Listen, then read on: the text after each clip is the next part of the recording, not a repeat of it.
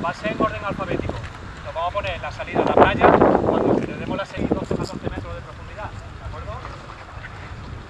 Bueno, pues voy indicando y nos vamos poniendo en fila. A la balsa con las aletas. A la balsa con las aletas fuertes. Las aletas para subir a la red. Eso.